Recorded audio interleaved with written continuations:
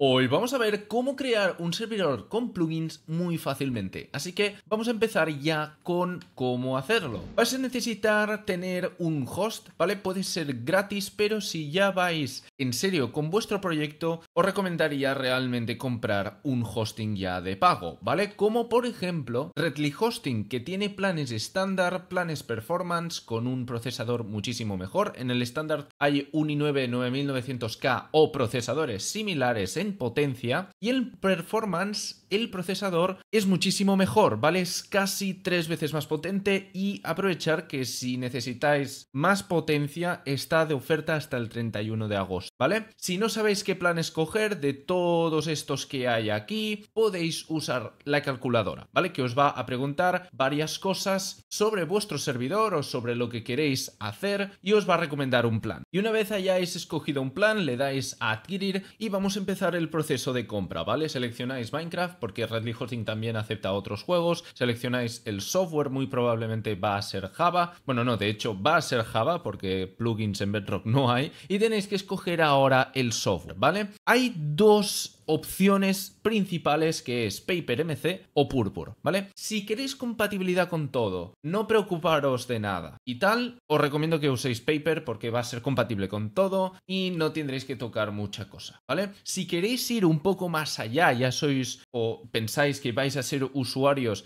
más avanzados dentro de poco y queréis optimizar al máximo vuestro servidor, entonces os recomendaría Purpur. En el caso de que queráis hacer un servidor con plugins y mods, que no es el tutorial este, pero vais a tener que usar MojisTMC o Arclight, que no viene incluido por defecto, pero que lo podéis instalar manualmente, ¿vale? Pues bien, escogéis el software y continuáis el proceso de compra hasta tenerlo comprado. Una vez tengáis el servidor comprado, podréis venir aquí, que esto es el panel de control, donde podréis gestionar vuestro servidor. Una de las maneras de instalar plugins es con el servidor apagado, ¿vale? Es posible que tengáis que encender y apagar vuestro servidor para que se os genere todo lo necesario, ¿vale? Tendría que haber una carpeta de plugins, os tenéis que asegurar. Y una de las formas es directamente desde Plugin Manager, ¿vale? Aquí podréis instalar los plugins que necesitéis, ¿vale? Eso sí, tengo que avisaros que de vez en cuando con algún plugin no funciona bien, ¿vale? Este menú de aquí. Así que es posible que tendréis que ir a la página oficial de descarga